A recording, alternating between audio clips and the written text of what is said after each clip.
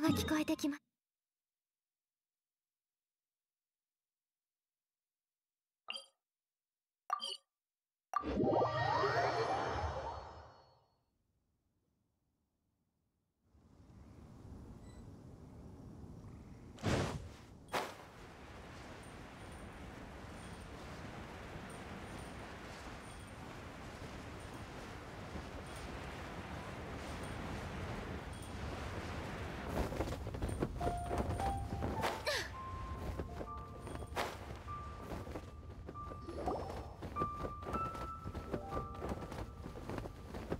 仕事量が多すぎます。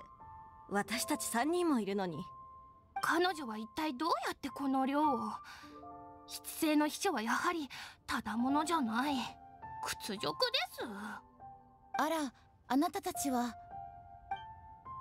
お前ら行幸の手下じゃないか。ここで何してるんだ？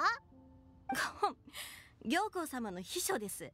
手下ではありません関羽様を見かけませんでしたか？旅人さん。もう何日も絶運の間から帰ってこないんです。彼女はリーウェ七世全体を補佐している秘書で私たちが今代わりに仕事をしているのですが。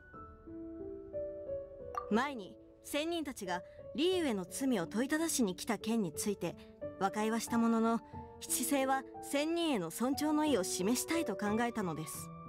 そのため関羽様を使者として絶運の間にリーウェ騒動の近況を記した手紙を届けさせているのです。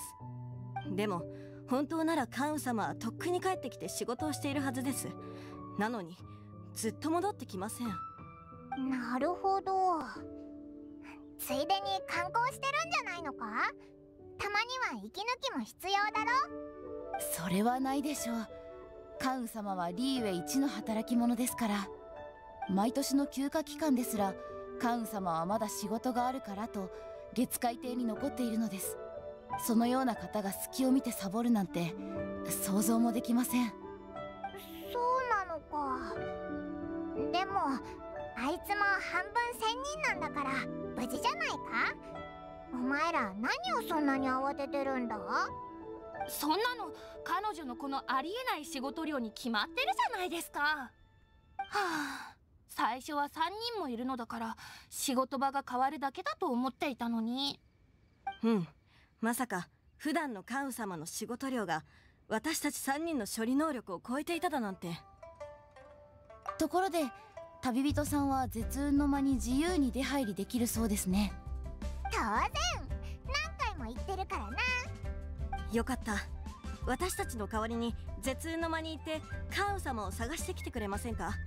私たちが倒れてしまう前に。ふう助かりました。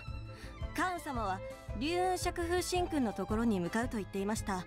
まずはそちらを探してはどうでしょう。もう時間です。早く戻って仕事をしなければ。いや先に行幸様に残業代について相談した方がいいのでは